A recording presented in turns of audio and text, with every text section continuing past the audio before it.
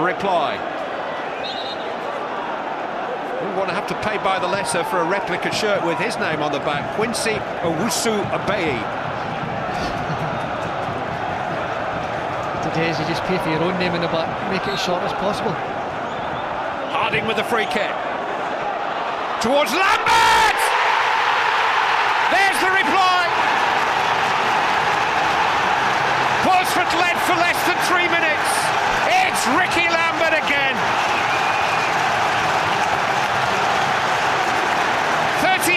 For Southampton, 24 goals. And as soon as that free kick was airborne, only one man was ever going to get on the end of it. Well, there's a big change as well, Clive. Lambert's not taking the free kicks. He goes in the box. His first presence to get his head on it, get in the back of it, and get his team on level pegging.